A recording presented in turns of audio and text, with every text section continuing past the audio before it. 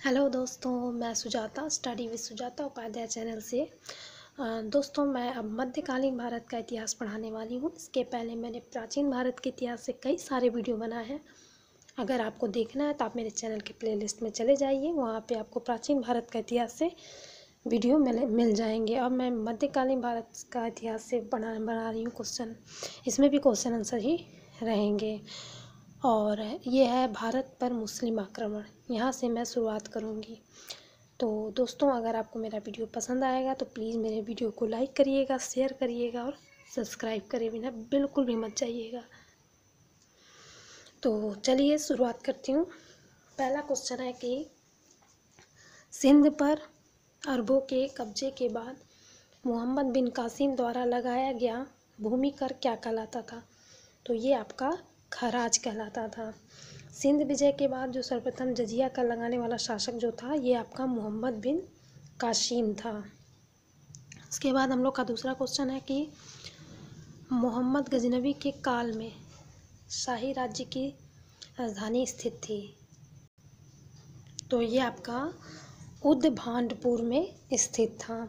मोहम्मद गजनबी जो था, ये प्रथम आक्रमण जो है एक हज़ार एक ईस्वी में हिंदू शाही राजवंश पर हुआ था। यहाँ की राजधानी जो थी, उद्भाटपुर थी। इसको वहंद भी कहते हैं। हिंदू शाही वंश का शासक जो जयपाल था, ये इसका राज्य जो था, पंजाब से लेके सिंध तक फैला हुआ था। उसके बाद आ गया थर्ड वाला क्वेश्चन मोहम्मद गजनवी के साथ युद्ध में अपमानजनक पराजय के पश्चात आत्महत्या करने वाला पंजाब का हिंदू राजा कौन था? तो ये आपका जयपाल था। जयपाल जो था ये हिंदू शाही राज राजा मोहम्मद गजनवी के साथ युद्ध में निरंतर पराजय के बाद इतना अपमानित महसूस किया कि अंत में ये क्या किया? आत्महत्या कर लिया। उसके बाद वाला क्वेश्चन फोर्थ नंबर पे है कि चाचनामा किस प्रदेश के इतिहास का वर्णन करने वाला ग्रंथ है? तो चाचनामा जो है ये आपका सिंध। सिंध का अरबों के सिंध विजय का विस्तृत उल्लेख जो है ये चाचनामा नामक ग्रंथ में मिलता है। मोहम्मद बिन कासिम के अभियान तथा उसके शासन प्रबंध आदि के संबंध में यह एक प्रमाणिक क्या है, स्रोत है। यहाँ इसमें यह वर्णन मिलता है कि सिंध के सफल अभियान के तत्काल बाद खलीफा वाहिद ने मोहम्मद बिन कासिम को मृत्यु दंड दे दिया था। उसके बाद हम लोग फिफ्थ नंबर वाले क्वेश्चन पे आ जाते हैं। तो फिफ्थ नंबर का क्वेश्चन है कि सुल्तान मोहम्मद गजनवी ने भारत पे कितनी बार आक्रमण किया था? तो सत्रह बार किया था। उसके बाद वाला क्वेश्चन है कि नालंदा विश्वविद्यालय का अंत हुआ क्योंकि क्योंकि वहाँ राज्य संरक्षण नहीं दिया गया। तो नालंदा विश्वविद्यालय जो है, प्राचीन भारत के शिक्षा केंद्रों में सर्वाधिक उल्लेखनीय है। सर्वप्रथम यहाँ बौद्ध विहार की स्थापना गुप्त काल में ही करवाई गई थी। जो चीनी यात्री वेन शांग है, उनके अनुसार इनके संस्थापक जो थे, सक्रादित्य यानी कुमार गुप्त थे। हर्ष काल में नालंदा को पूर्ण राजकीय संरक्षण मिला था, जिसके परिणाम स्वरूप यह जगत प्रसिद्ध विश्व, विश्वविद्यालय बन गया। उसके बाद हम लोग क्वेश्चन देख लेते हैं, महान कवि फिरदौसी किसके दरबार की शोभा बढ़ाता था? तो ये सुल्तान महमूद सुल्तान महमूद के दरबार की शोभा बढ़ाता था।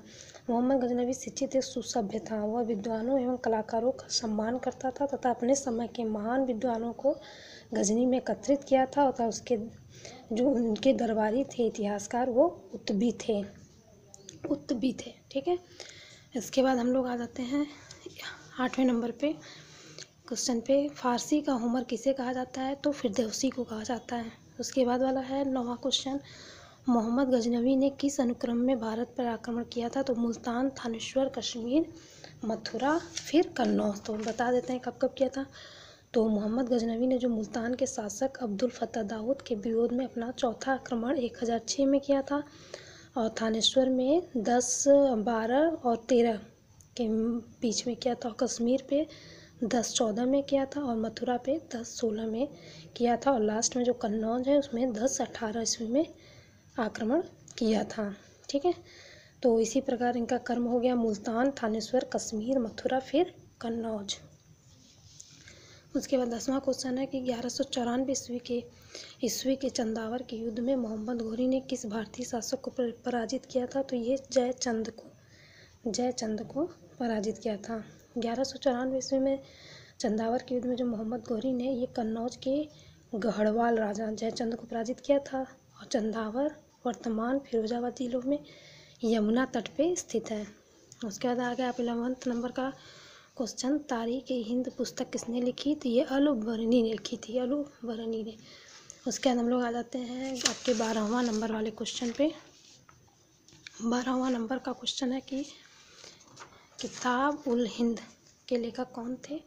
तो ये आपके अलुबरनी थे। तेरह नंबर पे है, मोहम्मद गोरी के द्वारा प्राप्त किया गया प्रथम भारतीय शासक कौन था? तो ये पृथ्वीराज चौहान थे।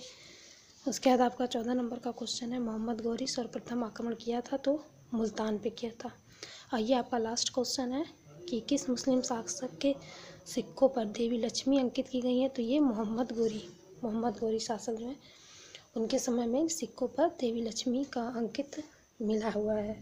ठीक है? दोस्तों, अगर आपको मेरा वीडियो पसंद आया तो प्लीज़ लाइक करिएगा, शेयर करिएगा और सब्सक्राइब किए बिना बिल्कुल मत जाइएगा दोस्तों। धन्यवाद।